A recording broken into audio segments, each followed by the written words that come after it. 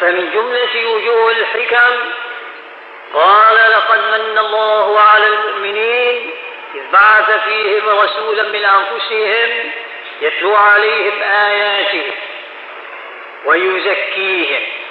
كما أرسلنا فيكم رسولا منكم يتلو عليكم آياتنا ويزكيكم. فجاء يزكي نفوس العباد.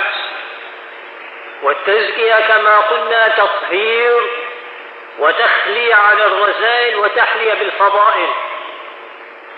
هذا لأنك يا إنسان مجمع عالمين.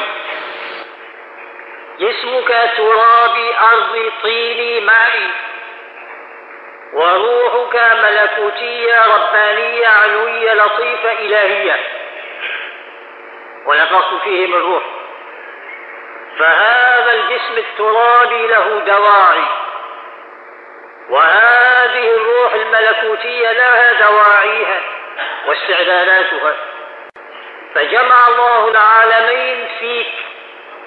فإن أنت عملت بشريعة رسول الله صلى الله عليه وسلم فكملت دواعي جسمك ونفسك الأرضية فارتقيت وكملت صرت في أعلى عليين تحققت في الملكوت الأعلى. وحللت في مقعد الصدق عند مليك مقتدر. والملائكة يدخلون عليهم من كل باب. سلام عليكم بما صبرتم فنعم عقبى الدار. الملائكة تسلم عليك. إذا أنت نلت مقام كبير. وإن أنت أخلدت إلى الأرض واتبعت دواعي جسمك الحيوانية البهيمية ولم تعمل بشرع رسول الله صلى الله عليه وسلم حتى تزكي نفسك مما فيها. أخلدت إلى الأرض هبطت إلى أسفل السافلين. ولذلك الإنسان إنسانان حيواني أرضي وأيضا هناك إنسان حي... وإنما هو إنسان روحاني رباني. فالرباني هو المؤمن. والحيواني هو الكافر يا إنسان.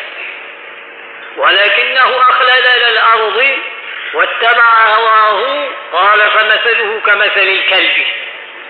إذا فهم يا إنسان اختار لنفسك من أين نعرف أنت من أي أي الإنسانين من الإنسان الملكوت الرباني الرحمن المحمدي ولا من الإنسان البهيم الحيواني الأرض السفلي؟ أين هو بترضى لنفسك أنت قال لا يا أخي أنا بريء الكمال والعلو قل عليك باتباع شريعة رسول الله. والتمسك برسالة سيدنا محمد صلى الله عليه وسلم.